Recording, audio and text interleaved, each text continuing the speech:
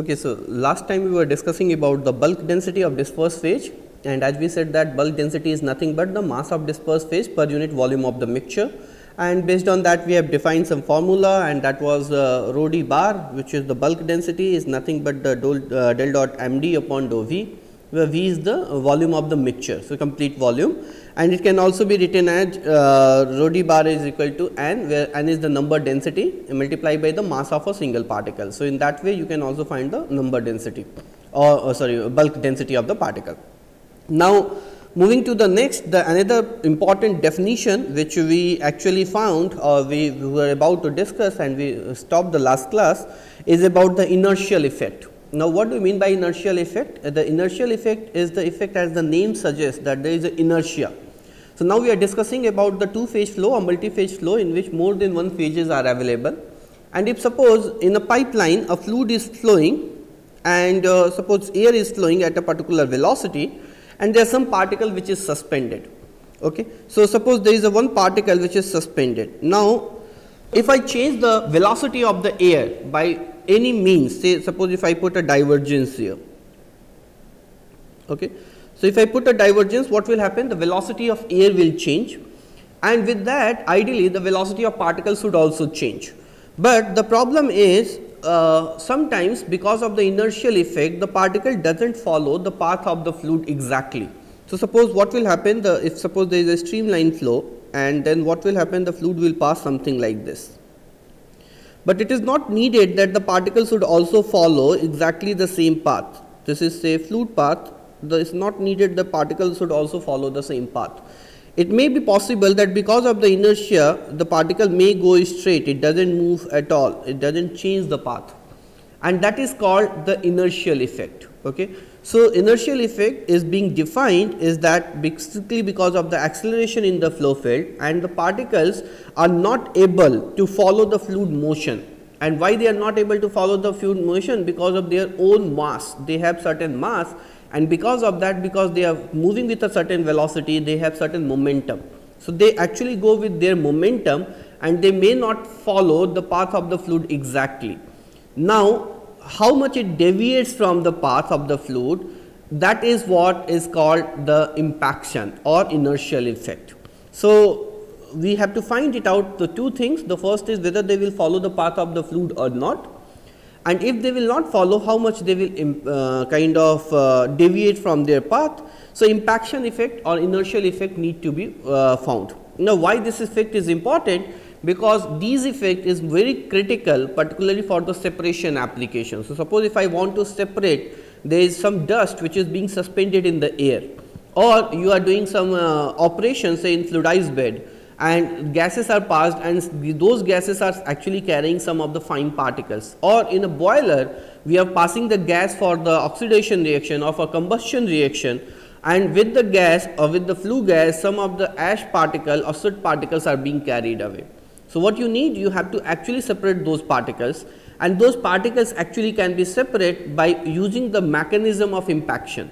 Now, how it is possible to separate? What I have to do suppose if uh, there is a flow in which the particles are flu flowing or the fluid and particles both are flowing, I need to just define in such a way I have to give the particle such a momentum that it should have some inertial effect and then it should say if there is a path here and I can if suppose I put some filter or some kind of a catch here where the particle will go and get stuck then what will happen? The fluid actually will move this in an elbow kind of a shape. This is the fluid. But if suppose there is a particle which is moving here because of the impaction it can go and hit on this wall. So, the, there can be a separation now, this can be desirable and this can actually worstly affect also, it can be undesirable phenomena. So, what can possible? Possibly if you are not designing the system properly and you are having the flow of a gas and solid or liquid and solid, then in the same bend what will happen? The particle will go all the time and hit this bend. Now, the, if they will hit it multiple times, the erosion will occur and your bend make damage after some time. So, that is why it is very important to understand that how the particle will follow the path of the fluid. Now, again I am telling that it can be used for the separation mechanism to separate the particle clearly.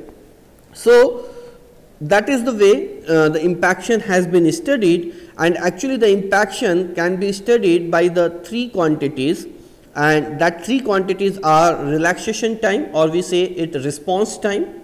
We can also find the stop distance, the stop distance means where the particle will go and stop and third is the Stokes number. Now, we will define all these three separately and we will see the importance of each phases, but the impaction generally is being defined with these three numbers okay, or these three values. Now, how these three values are defined? So, first is response time or relaxation time as its name suggests that what is the response time?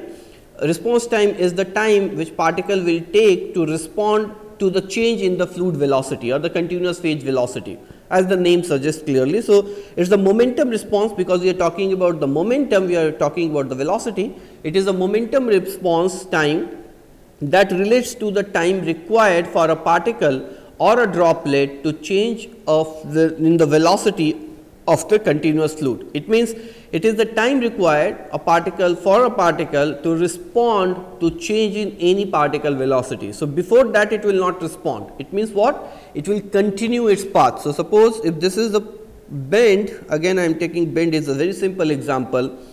If the part fluid is moving it, it in this way and the particle response time is say very high then what will happen particle will not move in this side in this direction instead of going in this direction it will continue its motion in the same direction. So, what will happen it will go and hit the bends. So, that will depends on the particle response time that how fast it can respond to the change in the fluid velocity. So, that is called particle response time. So, that is the one phenomena which actually describe that how the uh, relaxation factor or whether the impaction will play a role or not, if it will play how much important role it will pay, play. So, that is the uh, definition of the response time. Now, how to calculate the response time? So, for that we can do a derivation. Now, how to do the derivation is a very simple thing. Suppose if a particle for the same case is moving and it is moving horizontally. So, I am neglecting the effect of the gravity and buoyancy will be very, very small. So, what will happen if suppose there is a particle which is moving in horizontal direction in say direction of x, if suppose this is x, this is y, it is moving in x direction along with the fluid. So, the fluid is also moving and particle is also moving. So, what will happen? Say the fluid velocity is v and the particle velocity is u. So, these are the particle velocity, u is particle velocity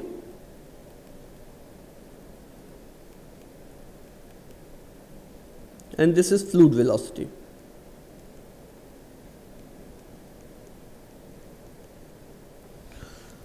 So, a fluid uh, is moving in which some particle is suspended and if I am assuming that the particle velocity is u meter per second, fluid velocity is v meter per second. If they are moving then what will happen, what are the forces which are going to act? So, if you see the forces which are acting because the motion is in horizontal there is not gravity is not going to play any role if I neglect the buoyancy and I am just considering the motion in the horizontal direction or in the x direction, then the buoyancy will also not play a role. So, there will be two forces which will be acting. One is the particle momentum or particle inertia and that will be opposed with the drag force. So, I can write a equation which can say that m du by dt, so rate of change in the momentum is nothing but that will be equal to the Fd which is nothing but a drag force. So, you can say this Fd is nothing but drag. Okay. Now, how the drag force are defined we will revisit it again, but I hope in your undergraduate or in your basic uh, chemical engineering courses or basic engineering courses this might have been introduced that drag is nothing but it is half into C d it is rho a u minus v square. So, because this both are moving we are defining it based on the slip velocity. So, I am saying that it is u minus v and mod of u minus v. So, some book says that is u minus v square I am writing it in the direction of u minus v into mod of u minus v so that you can get the direction of the drag force. So, finally, these are the forces which is acting on the particle if it is moving horizontally. So, now we can what we can do we can try to see that how to calculate the response time. So, we will try to define or derive the formula for the response time. Now, to do that we did the force balance the only problem is the CD value. As we know that the CD is a function of Reynolds number and if you keep on changing the Reynolds number the value of CD will change and that the value will be different for the laminar and turbulent flow or you can say the Stokes regime and Taylor regime or turbulent regime the values will be different. So, let us assume that the velocity is less and we are still in the uh, Stokes regime then the CD will be actually defined with the 24 by RE. Now, this Reynolds number RE is nothing but the Reynolds number.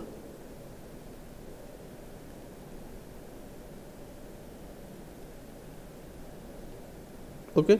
And this Reynolds number is defined based on the slip velocity. So, what will be the Reynolds number is this nothing but rho of continuous fluid, d of particle, u of particle. So, because the particle velocity is v u, I am writing it as a u and this will be based on the slip velocity. So, you will say that u minus v upon mu of continuous. So, that is the Reynolds number the way it has been defined, it has been defined based on the slip velocity. So, this rho is for the continuous fluid, these two is for continuous fluid rho and mu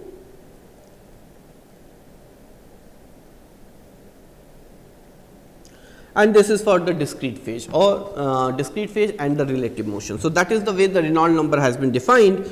So, we know that if uh, this is following in the Stokes regime it means the Reynolds number is very very less or is less than 1 then CD can be written as 24 by RE and the whole equation can be further simplified as m du by dt is nothing but half CD is 24 by RE and RE I am going to this is the RE and rho of particle okay, into area into u minus v to mod of u minus v.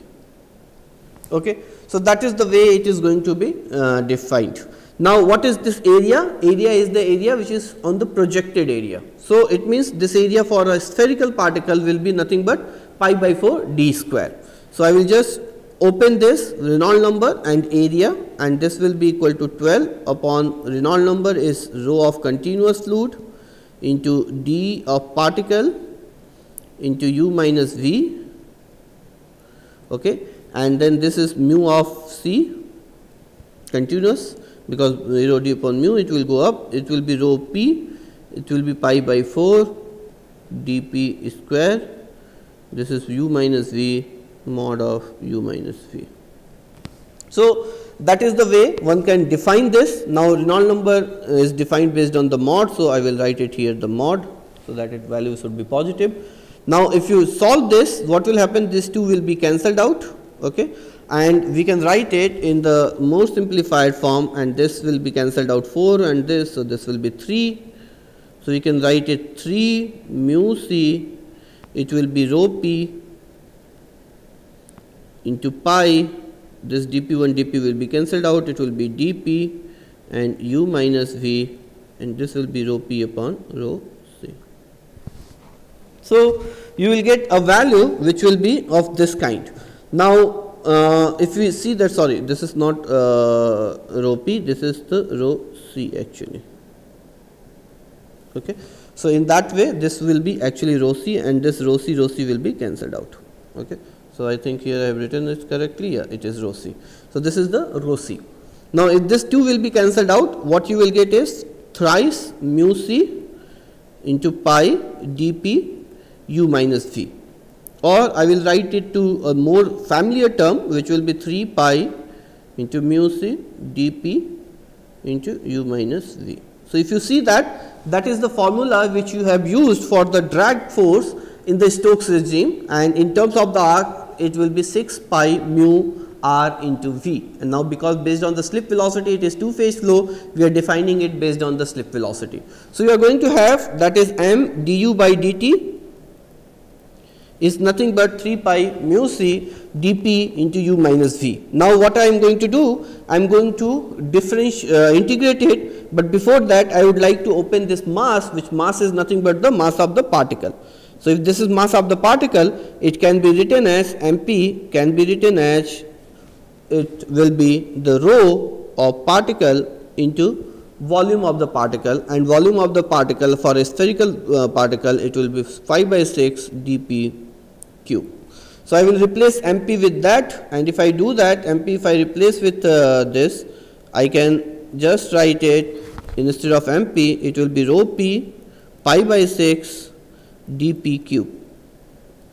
Now, I will just try to simplify it. If we will try to simplify I will get the values. It is like uh, pi pi will be cancelled out. You will get du by dt will be equal to you just uh, bring everything here. It will be 18 this pi will be cancelled out. It will be mu c upon rho p. Okay now dp cube will be cancelled out. So this will be upon d square dp square and uh, u minus v. Okay? So this will be what is being turned out the equation and the value if you see this value this is the unit of this is the reciprocal of the time and that is called the response time. So, this is nothing but is called response time or relaxation time. So, the response time or relaxation time is being defined say if I say that response time by tau v if I represent then it is nothing but rho p into dp square upon 18 mu of continuous. So, this is called the response time. Okay. So, that's much time a particle will take if you are putting a particle in a system which is moving a gas which is moving so, depending upon how much is the density of the particle, what is the size of the particle and what is the viscosity of the gas, it will have certain time it will take before it will respond to any change in the fluid motion velocity or fluid velocity. Now, you see that it is function of the density, it is function of the particle diameter and it is inversely proportional to the part, uh, fluid viscosity. It means what? If the fluid viscosity is very high, the response time is going to be low. If your particle density is low, then the response time is going to be the low. If your particle diameter is low, then the response time is going to be low. So, it means what? If this times will be low, particle will respond to the flow very fast. If this time is very high, particle will not respond to the fluid or it will respond very lately to any change in the fluid velocity or fluid motion or fluid direction. So, that is the way response time has been derived. Now, it can be further continued and if I just want to find it out the stop distance, I can say that du by dt was equal to if I just look here, it was u minus v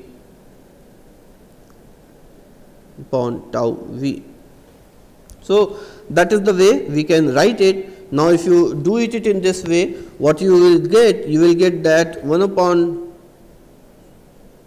du upon u minus v is equal to dt upon tau v. Okay. Now, if you do the integration of the same, if I integrate it, then what I will get? I will get the function which will be in the form of ln. So, this will be ln u minus v will be equal to this will be t upon tau v this value. So, now if you do that t upon tau v value. Now, what will happen? I can uh, take the integral and it will be u minus v will be equal to e raised to the power t upon tau v.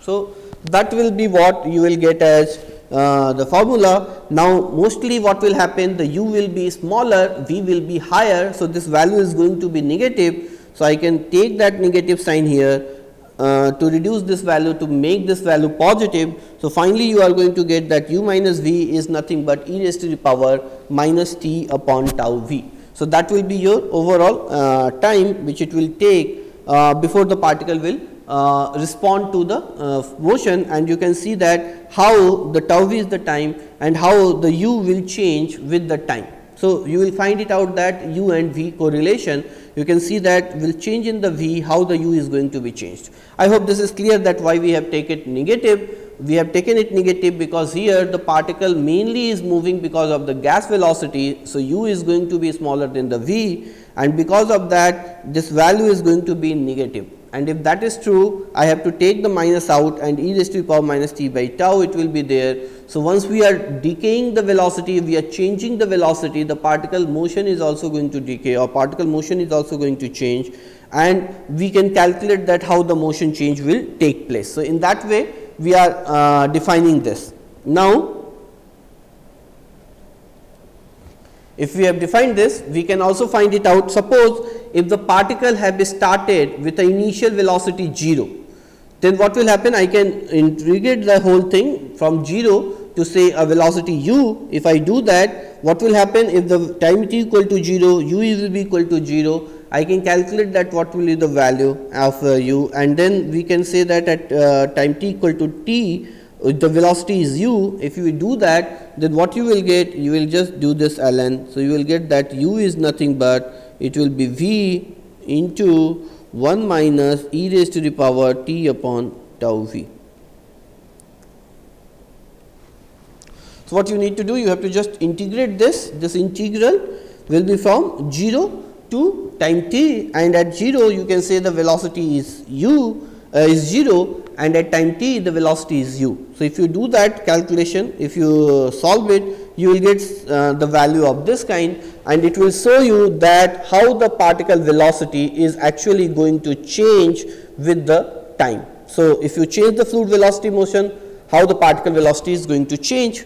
Now, from there you can find it out that whether the particle is responding to the uh, change in the fluid velocity and you can also track the velocity of the particle with the time. So, that is very very important very very critical and if you see that it is actually following if you uh, just try to revise your control it is actually following that when the u will be equal to v once the particle will change or it will be nearly equal to v. So, if you find that the e raised to the power if this value whatever we are saying that t minus v is equal to 1 then what will happen? The e raised to the power 1 value will come it will be 1 upon 1 then this whole value will come 1 upon sorry uh, 2.736 so this whole value will come as 63 percent. It is 63.2 percent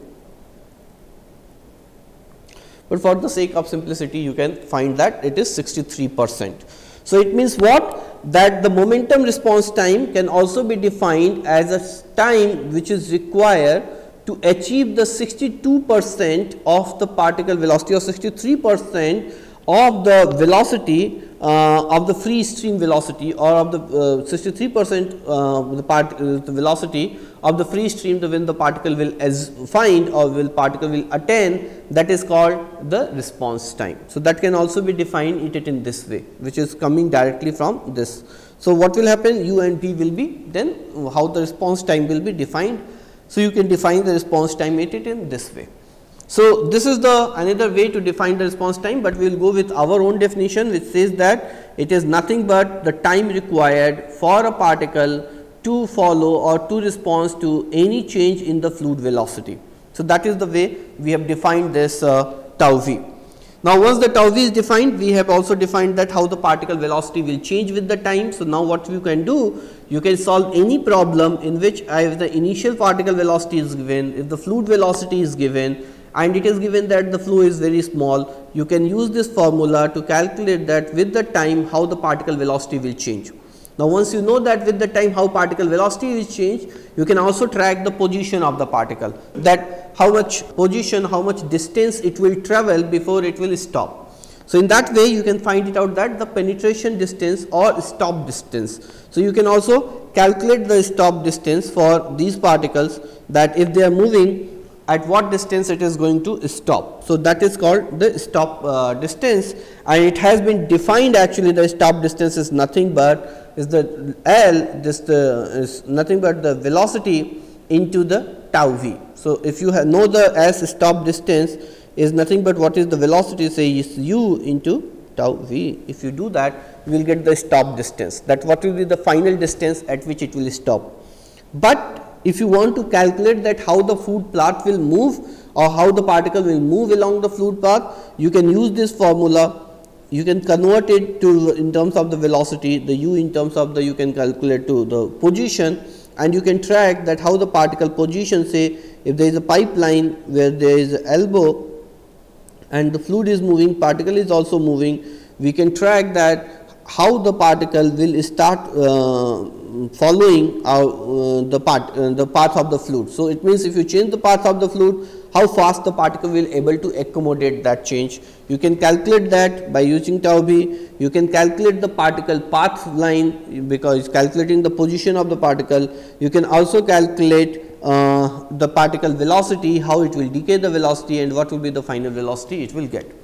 So, all those things can be found with the stop distance also. So, you can also find that when the particle will go and finally stop at some place.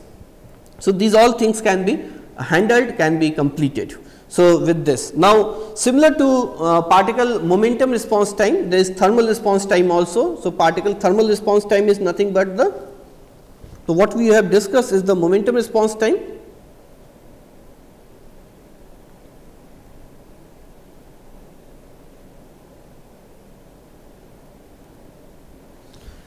Similarly, in similar line we can discuss the thermal response time and thermal response time is nothing but the response time needed by the particle to respond to any change in the temperature of the continuous fluid. So, if suppose the fluid is moving and I put certain a heating zone here at certain location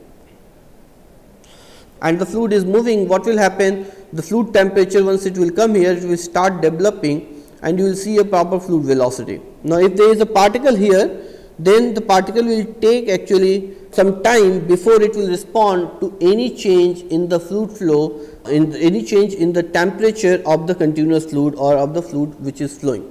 So, that is called the thermal response time and it can again calculate the way we have balanced the momentum or the force we can balance the energy and based on the energy balance we can calculate that what will be the response time which will be needed for the thermal or thermal what will be the thermal response time. Now, to just for the example that how to do that how to do the energy balance what will be the total energy contained by the particle it will be nothing but m c p dou t upon dou t. So, it means this capital T is the temperature, small t is the time. So, that is the total energy any particle uh, is having or the total energy the particle can have. Now, this will be equal to nothing but the Nusselt number which is the number and uh, kind of responsible for the heat transfer. It will be the pi K c, K c will be the thermal conductivity of the continuous phase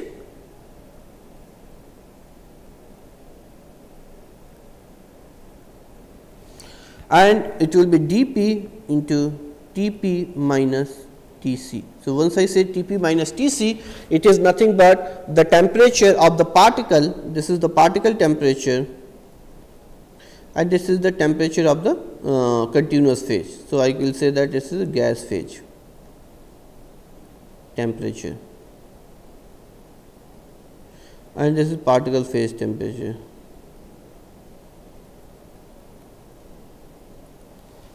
So, you can calculate similar way that how much time it will take for the particle to respond to any change in the temperature. So, you can do all this balance and if you solve this you can find it out that what will be the thermal response time of the particle and just I am leaving it to you as an assignment and maybe we will do this as an assignment. The tau t is the thermal response time of the particle will be nothing but it will be rho p into CPD where the CPD is nothing but uh, the uh, heat capacity value for uh, discrete phase or the particle phase into d square upon 12 Kc. So, this will be the particle thermal response time and it is nothing but you have to just balance this open the m the way we have done in terms of the rho p into uh, Vp, Vp is the volume of the particle and then MCPDP you have to write this and then you just equate it put the value of Nusselt number in terms of the HD upon K and then you will solve it you will get that tau T is nothing but equal to rho P CPD D square upon 12 Kc. So, it means what if I try to find it out the value of tau V upon tau T and just try to find it out. So, tau V is nothing but it was rho p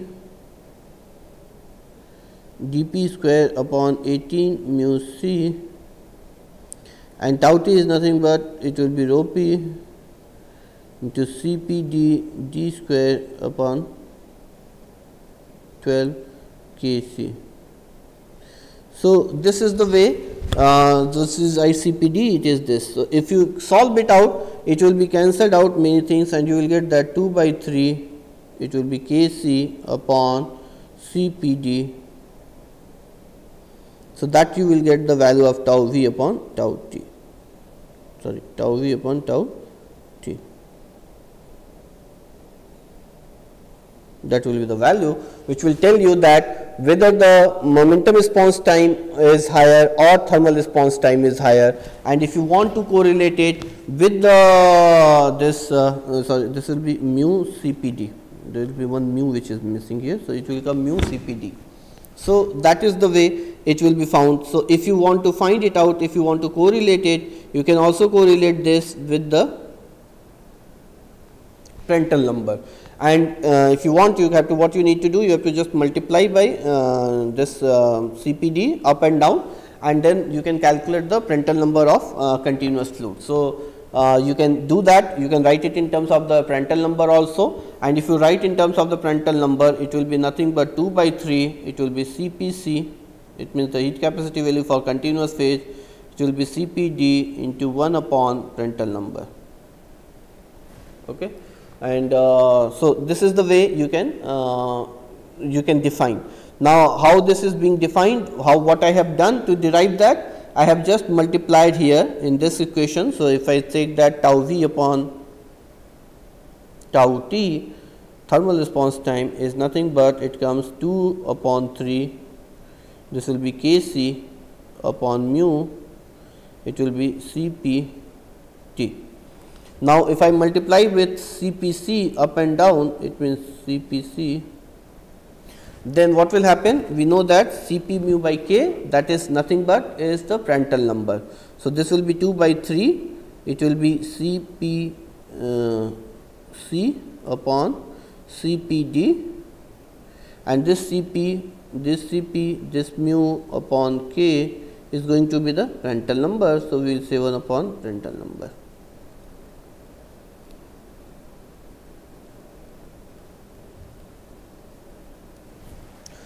So, similarly you can find the response time the way we have derived the things remain same you can find the response time you can find the momentum response time you can find the thermal response time. The idea is that impaction it means uh, if the fluid path is changing or fluid velocity is changing particle may take some time before it will respond to that change okay and that is called the response time. Now, once we are talking about the momentum that is called momentum response time when we are talking about the temperature or the heat, we will say that it is the thermal response time. So, that is the way the response time has been derived and one can use that response time to calculate that how the particle will behave and the same calculation can be used to calculate the stop distance the way I have told you earlier. Same calculation can be used to track the particle trajectory of particle motion same equation can be used to calculate the particle velocity. So, if you know this you can calculate how the particle will move with the time. Now, moving towards the next. So, we have defined response time, we have defined the stop time. Now, the third one is that Stokes number.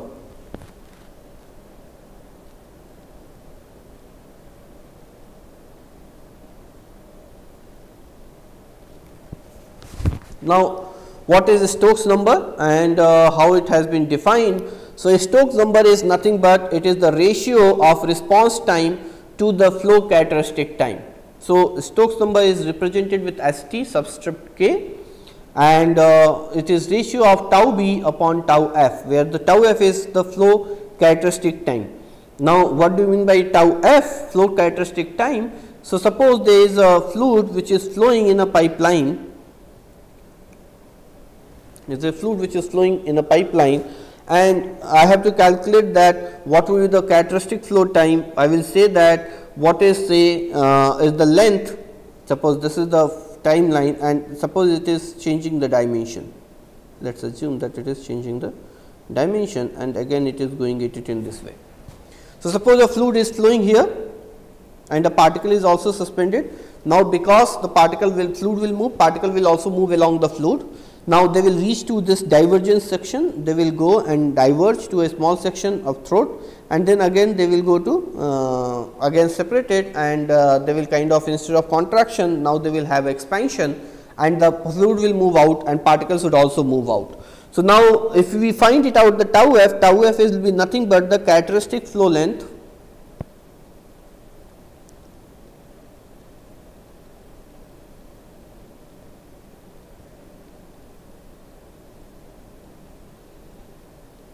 characteristic length divided by uh, the velocity.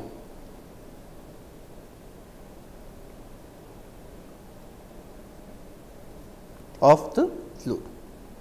So, that is the tau f. So, the characteristic length in this type will be what is the length of the throat or you can say that uh, so that will be the tau f. So, how much is the fluid uh, characteristic time will be there that is the time. So, you can calculate that the tau f tau v we already know we can calculate the tau v and we can calculate the Stokes number and to find it out that whether the particle is going to follow the path of the fluid or not. Now, if the Stokes number is very very less than 1, if suppose STK is very very less than 1, it means what? It means the particle response time is very low compared to the fluid uh, uh, flow time. Okay? It means the characteristic time of the flow. It means what? The particle uh, response time because it is very very low it will uh, response if the is very low it means the particle has ample time or very long time to respond to the change in the fluid motion because tau v is very very small okay so it means what the tau v is very small tau f is very high so particle length so characteristic time of the fluid is much higher compared to the characteristic time of the particle so, it means what particle will just follow the path of the fluid, it will have ample time to respond. So, in that case if this is less than 1, the particle will actually flow and it will just change stay here and then go out. So, that will be the path of the particle exactly same will be the path of the fluid also. So, it has ample time to respond to any change. Now, if the Stokes number is say is very very high then 1 then uh, what does it mean that particle response time is very very high compared to the flow characteristic time. It means the flow characteristic time is very very low and particle response time is very high. It means what? In that case particle will have no time to respond to any change in the uh, fluid velocity. Okay. So, it will have its own inertia, own impaction is going to work, it will move with uh, its own inertia and it will not respond to any change in the fluid uh, velocity or fluid direction. So, what will happen for the similar case now if suppose this is the case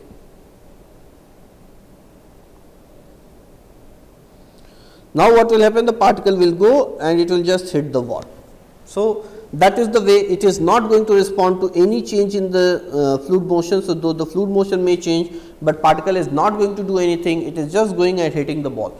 So, that is called one will happen when the Stokes number is very very more than 1 and if Stokes number is less than 1 then particle will have ample time and it will respond to all the changes you will made with the fluid velocity.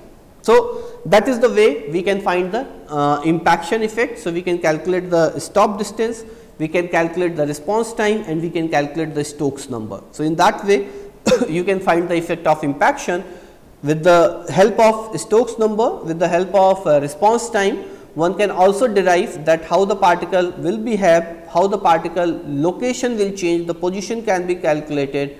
One can also calculate that with the time how the particle velocity will change. So, you can see that whether the particle is accelerating or it is deaccelerating. If you know how it is deaccelerating, you can calculate that what will be the stop distance when the particle will deaccelerate this much that the velocity of the particle will go to 0. So, all those calculations can be done and the similar way as I said the stop distance has been defined, it is nothing but the initial velocity of the particle into the relaxation time. So, stop distance s is nothing but what is the initial velocity of the particle now I am saying that particle velocity as a u. So, I will denote it as say u naught into tau v and that is nothing but the stop distance. So, you can also calculate that if you know the tau v after how long the particle will actually stop. So, this u naught is the initial velocity of the particle.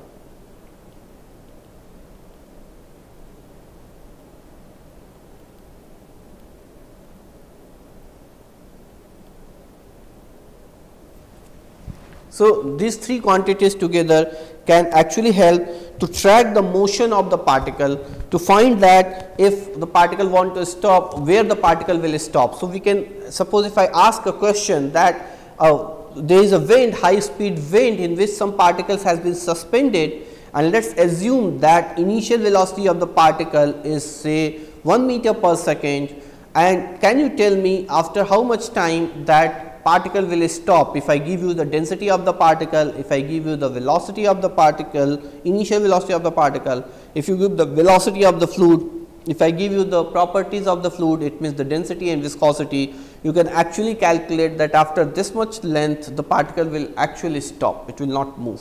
So, in that way, uh, we can calculate that, we can also see that how the deceleration will take place if the particle velocity is reducing and we can also track the motion of the particle or position of the particle because once you have the velocity you can just do the dx by dt or d, uh, dz by dt or dy by dt and integrate it to get the velocity of uh, position of the particle. So, everything can be done by using this three. Okay. Now, the next thing which is uh, critical in multi-phase flow, now we are defining it.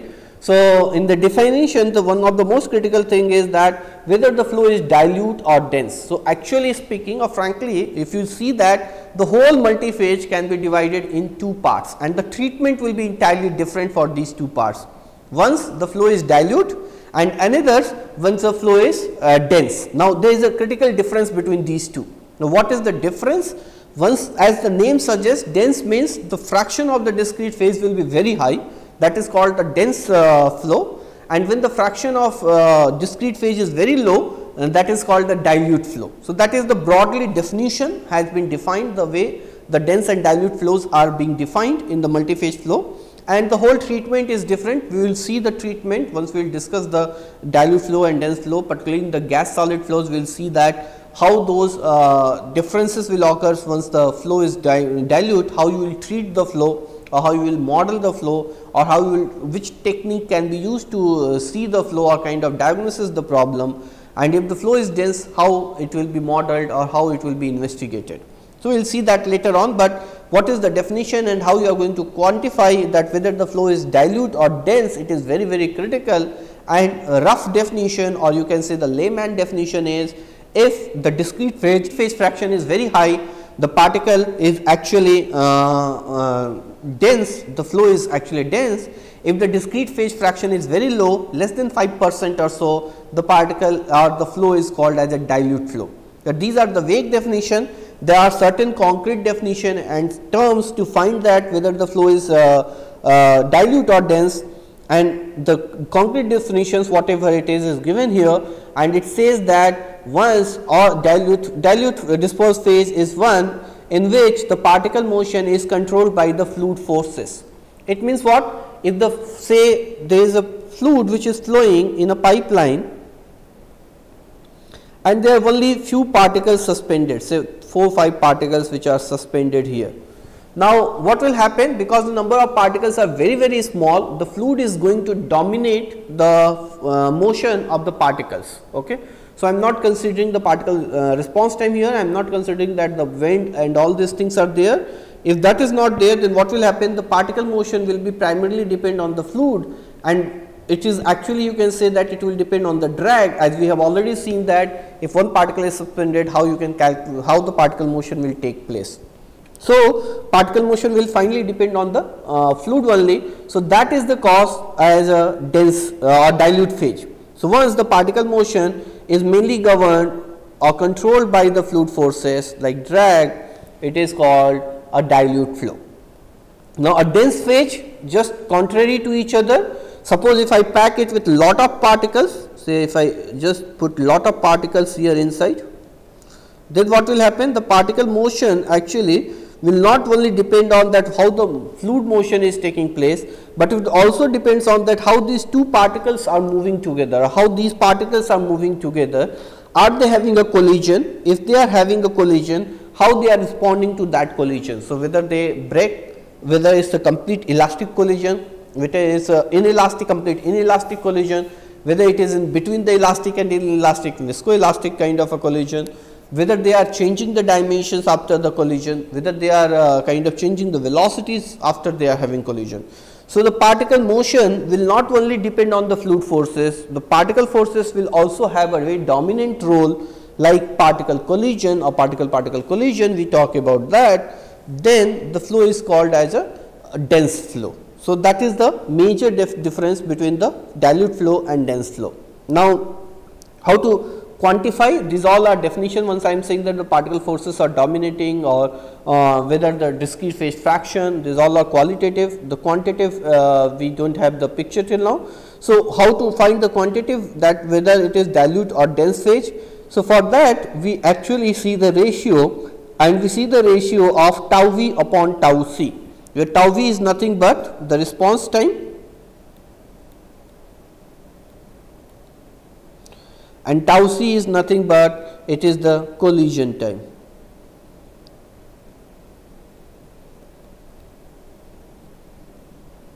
collision time.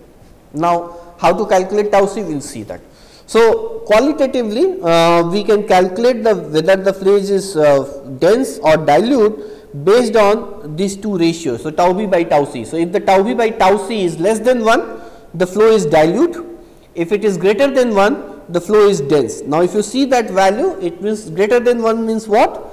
The response time is very high compared to the uh, your tau c collision time it is very very low. If the collisional time is very very low it means what? What you understood about that? That the particles are densely packed with each other or very densely packed then only the collision time will be low.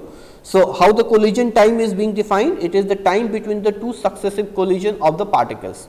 So, that is called the collision uh, time. Okay. So, that is uh, the two successive time between the collisions or two successive collisions of the particle is called the collision time. Now, if this is greater than 1 collision time is uh, this overall tau v upon tau c ratio is greater than 1 it means what collision time is very very small if the collision time is very small it means the particle will have a very frequent collisions and that is possible only if their packing fraction of the particle is very high it means the fraction of the particle is very high, it means it is going to be a uh, kind of a dense phase or dense flow. Opposite way around if we see that tau v upon tau c is very very less, less than 1 then it means what the tau c value is very high the tau c value will be high only if the frequency of the collision is less and it will be less only if the particles are very far from each other. So, what we need we need to actually find with this we can classify that whether the flow is dilute or dense, but what I need is the value of tau v and tau c. Now, we already know how to calculate the value of tau v. So, if I know my fluid system, if I know my particle, if I know the uh, diameter of the particle, then I can easily calculate as rho p into dp square upon 18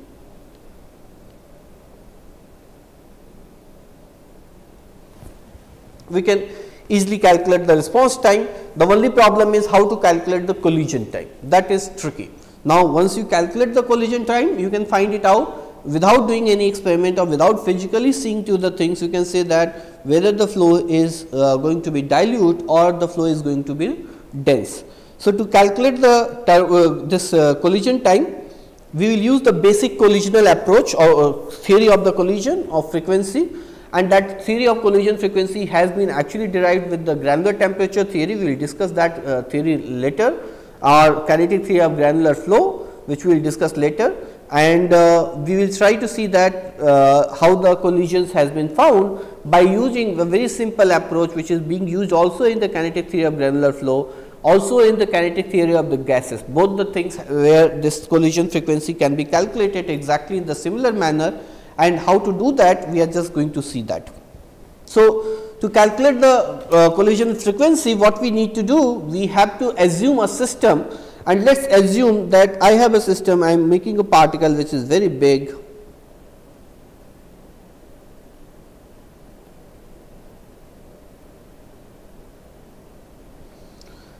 and let us assume that this is my one particle which is going to move. So, I am assuming that this only particle is moving okay and let us assume that it is moving because we are talking about the relative velocity say it is moving with a velocity v r where v r is the relative velocity and we are assuming right now that only one particle is moving at a time and rest of the particles are constant. Okay. So, that is the assumption which we use in uh, kinetic theory of granular flow also we also use in the kinetic theory of the gases. So, what I am assuming that suppose there is a system in which suppose this is a pipeline or system in which some particles are suspended and I am assuming that only one particle is moving rest everyone is stationary and I am giving a velocity of the particle this particle to Vr which is the relative velocity. It means I am assuming that other velocities other particles are also moving physically they are not changing their position. Okay. So, in that way we are just defining that how the particle is moving. Now, what will happen once the particle will move? Suppose the diameter of this particle is d, suppose this particle is d diameter, then what will happen? Once it will move, it will form a collisional cylinder. Now, why it will form a cylinder? The reason is uh, once it is moving, say it is moving in this direction in this circular pipe and the particles are spherical, then what will happen? It will travel certain distance. So, let us assume that it is uh, traveling certain distance. Now, how much distance it will travel? What will be the distance? That is very obvious that if the particle uh, velocity is uh, Vr, then in a time t or dt, it is going to travel a distance L which is nothing but Vr into dt. So, that is the distance it will travel and that L is nothing but this. Now, during the travel it will have some collision with the other particles. Now, I have already assumed that the particles other particles are stationary they are not changing their position only one particle is changing the position. So, on the, with which, which particles this particle will start having going to have a collision. It means what are those particles or uh, whose are those particles with whom it is going to have a collision. Now, that can be determined by the collisional cylinder dimensions.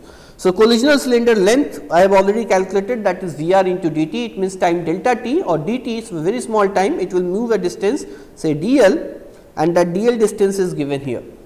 Now, with whom it will, is going to have the collision? Only with the particle. If suppose this diameter is d it will have a collision with a particle which is coming in the 1 r space. It means the particle is suppose all the particles are having the same dimensions it means I am assuming that all the particles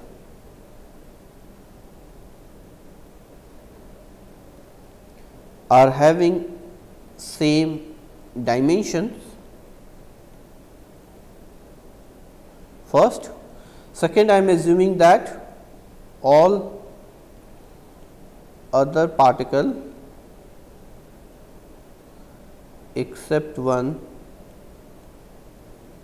is not changing their location.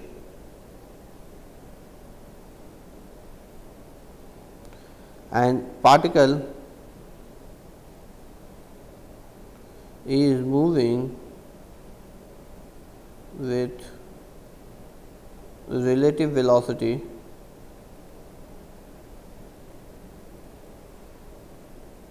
via. So, these are what we have assumed that the particles uh, are having the same dimensions it means all the particles is of have the same dimensions d. Uh, then second that uh, the particle other than one particle or rest other particles are stationary and their positions are not changing it means the velocity of the other particles are 0 and I am allotting a velocity Vr which is the relative velocity of the particle to the particle which is moving. Now, once I allotted that what will happen it will during its path say for a small time delta t it will travel certain distance and that distance will be nothing but the dl and which we have already discussed that that is not going to be something but it is going to Vr into dt. So, in a very a small time it will travel certain distance that say distance is dn, but during this distance traveled it will have collision with the other particles. Now, which particle it will have the collision with the particle which is following uh, falling between the one diameter of the particle. It means what? Suppose if I am just writing this as a separately say this is my particle path. If any particle which is be like that or which is inside of this is going to have a collision. Now, what is this? This will be nothing but if the particle say it is not going to have the collision any particle center which is actually lying from a distance at one diameter. So, any particle center which will be lying on a distance within the one diameter of the particle from the center of the particle it is going to have the collision with it. Okay. So, let me again clarify it. So, suppose these are the particles, okay. this is say let me erase it and then again kind of draw it to have more clarity on it. Now, suppose I am just zooming this picture here, this, this whole portion I am just zooming here. So, one particle we have assumed that there is only one particle which is moving okay, and it is moving for a particular distance so for a small time. So, say this is traveling a distance of L dl this is the distance it is traveling. Now, during its path it will have a collision with the other particle. Now, which particle it is going to have a collision with the particle suppose this is the diameter which is d. Okay. So, this will be this distance will be what it will be d by 2 d by 2. So, this will be the d by 2 distance which is actually nothing but the radius d by 2. Okay. So, this is the central line radius. Now, any particle suppose which is following their center. So, which is their center is it in such a way that the center of this particle is at a difference at a distance of d from the center of this particle. So, say let this is the assume that as the center of the particle. So, if this distance is also equal to the d, if any particle which is following within one diameter of the particle which is moving okay and please remember one diameter from the center of the particle not from the wall so from the edge of the particle one radius and from the center of the particle one diameter if anyone any particle which is following within that it is going to have a collision with this particle so suppose if i draw a line here and i draw a similar line here so any particle which will be fall within this is going to have the collision with this particle any particle which is falling outside even like that it is not going to have any collision with the particle because this will not touch each other. Okay. So, in that way we have defined the collisional uh, dimensions or you can say the collisional diameter and that collisional diameter will be nothing but the 2d and collisional length will be nothing but the Vr into dt. So, suppose now if I come back to the same place I will say that a collision cylinder will form and any particle which is following within this cylinder is going to have a collision with the particle. So, I can find it out that how many number of collision the particle will have. Now, how to find the number of collision? If suppose that the packing density or number density of the particle which is there present in this pipeline or in this system is n. So, n is the number density and we have already defined the n as nothing but number of particle n divided by v or dou n by dou v where n is this is the number of particle per unit volume.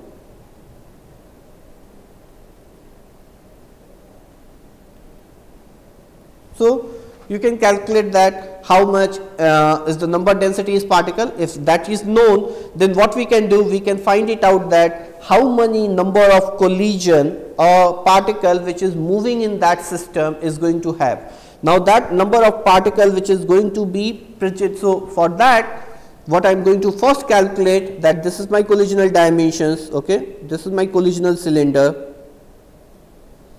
One particle which is moving, there are some other particles is available, uh, the some particles are actually out of the system and this is my collision cylinder.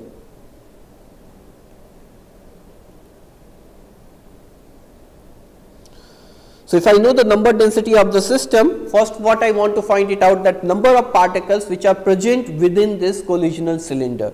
Now, how to calculate that? That number of particles within this we can say that dou n and dou n is nothing but number density into dou v or well volume of the uh, collisional cylinder and the volume of the collisional cylinder will be nothing but it will be pi this diameter this whole diameter is actually 2d or 2 dp I will write so that you do not get confused that dp is nothing but the diameter of the particle. So, the radius will be dp you can say that pi it will be dp square now we have to multiply with the length. Now length is nothing but this length and that length is nothing but if the particle is moving with a speed Vr then it will be Vr into dt.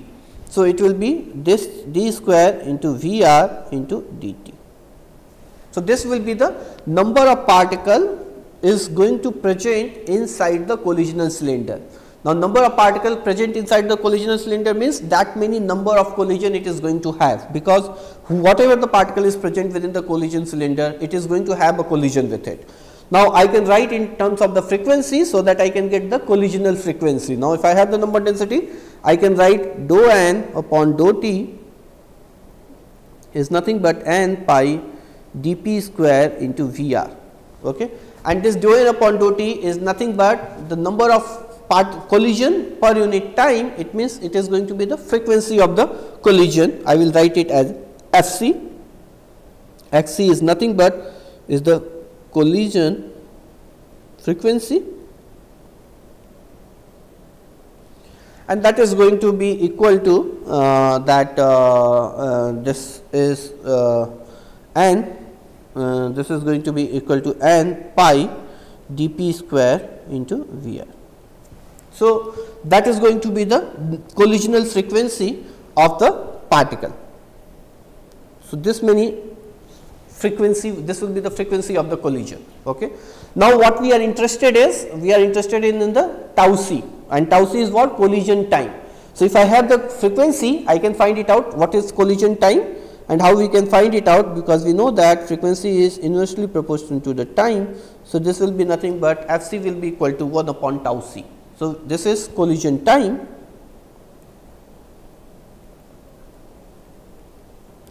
and this is the collision frequency. So, I am going to have both.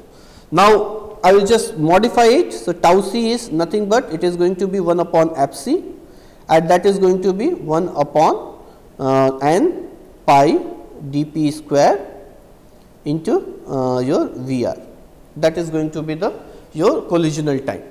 Okay. So, this is your collision time and n please remember is nothing but this n is nothing but the number density.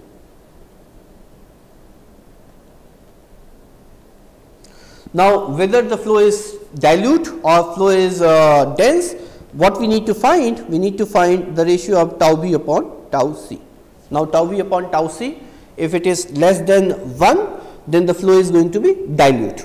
Now, if we do that tau v by tau c, what I am going to do is I am just going to calculate the value tau v by tau c. Now, tau v is nothing but it is rho p into dp square upon 18 mu c and tau c is nothing but it is n 1 upon n into pi dp square into V r. So, this is going to be the ratio of tau v upon tau c. Now, what we can do? We can solve it further and we can instead of number density because that is sometimes very difficult to calculate or to find inside the multi-phase flow system but the calculating the bulk density is relatively easier as we already know that if you know the volume fraction you can calculate the bulk density. I can write this in terms of the and in terms of the bulk density and how to write that we know that the bulk density rho d bar is nothing but is equal to number density into mass of one particle. So, that is number density we have already introduced that. So, number density into mass of one particle. Okay. So, if we do that mass of number density and mass of one particle, uh, we can write it. Now, mass of one particle we can again calculate this will be n. The mass of one particle is nothing but rho of particle into v of particle where v particle is nothing but the volume of particle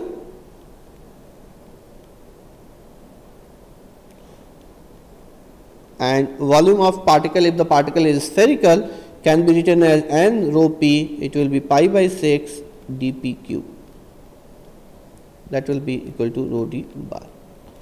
So, we can replace this place uh, in terms of the rho d bar. So, if you want to write that then what we have to do this n. So, I will just uh, try to simplify this equation further here. So, this tau v upon tau c and I will write it it in such a way that we can separate this uh, things together. I will write these terms together actually. So, I will write n, I will take rho p, I will take pi, I will take dp cube, I will write dp cube into dp okay, and then I will write it as dp vr and dp. So, I have just breaked it and I will write here as 3 uh, this 18 6 into 3 of mu c. Now, if you see that this is n rho p pi dp cube upon 6 this whole term is nothing but is equal to the rho d bar or you can say is the bulk density. So, it will be rho d bar into V r into dp upon thrice mu of c that is nothing but tau v upon tau c. So, now if we do this again I will write it separately tau v upon tau c and that tau v upon tau c is nothing but rho d bar into dp into v r upon thrice mu c. Now, if the flow is dilute then what? Then this value should be less than 1 if this value is less than 1, you can say that the flow is dilute.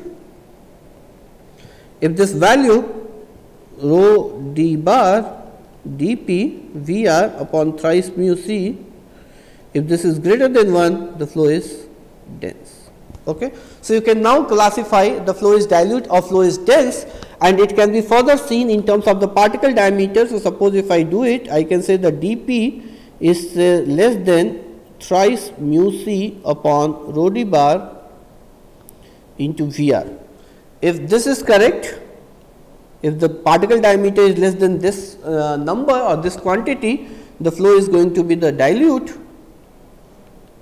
If it is more than that, the flow is going to be uh, dense. So, these are the definition one can use to find that whether the flow is dilute or the flow is dense. So, that is the whole classification one can do with the finding the dilute phase and dense phase system. So, uh, this can be uh, done properly. So, what we have discussed now till now we have discussed that different terms terminology which we are going to use.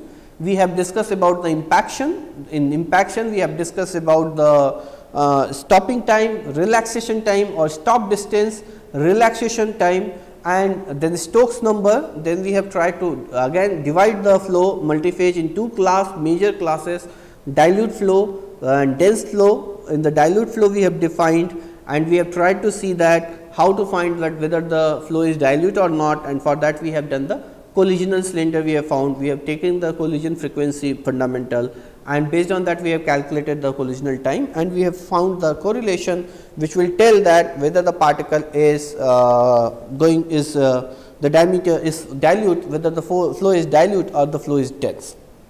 So, this is the basic definition of the multiphase flow or basic classification of the multiphase flow. Now, there are uh, certain other things also which we would like to uh, cover. I would uh, like to cover, uh, cover as a basic example and it is very critical to analyze the multiphase flow reactors that I will do in the next time.